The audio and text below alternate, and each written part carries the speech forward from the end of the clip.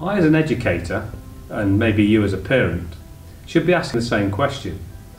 And that is, what is education all about? What are we trying to produce? The International School Ikast-Brande has, for many years, provided a really excellent education here in Denmark. However, the world changes and so the school also needs to change. Over the last year, myself, parents, children and the school board have come together in a series of focus groups and formed a new strategic plan for the next five years. This plan is focused on the work requirements for business in 2030. So it's not just from us, it's from OECD, it's from McKinsey, Accenture and various other bodies around the world that are looking at the skills and knowledge requirements of our students in 10 years time. Indeed, if the curriculum doesn't move, then the learning that the students achieve will not suit them for the future. And here at ISIB, we're part of the pathway to their adulthood and the rest of their career. And so, the school has developed a new curriculum, a curriculum which supports the child's development for the future and beyond. And it's not just about academics, it's about the humanities, interpersonal skills, emotional intelligence, and of course, self-leadership being really important.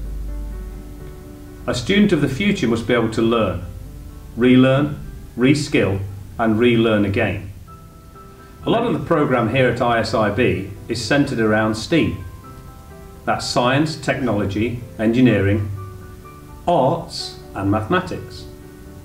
And it's important that those humanities subjects become part of our normal curriculum. The understanding of interpersonal and emotional intelligence skills, the ability to seek win-win solutions and the ability to think and problem solve are just as important. STEAM is a centre of our curriculum. One of the core aspects of our school is sustainability Indeed, as a green flag school, it's important that this runs through our entire curriculum. We start this in early years, and as a forest school, our early year students learn about biodiversity and the world around them.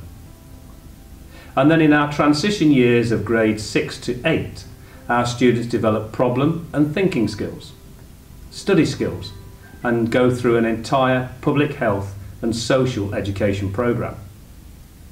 By year 9, they're ready.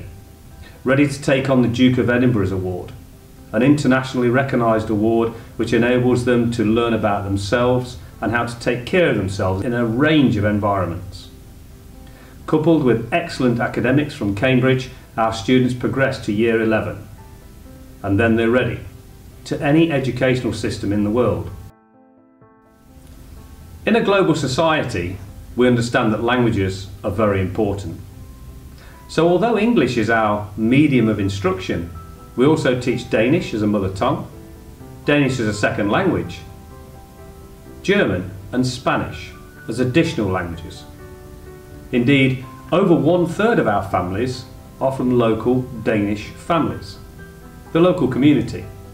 The remainder of our students come from everywhere else in the world, but we all have the same goal, to produce the best student that we can produce regardless of where you go or what do you want to do later on.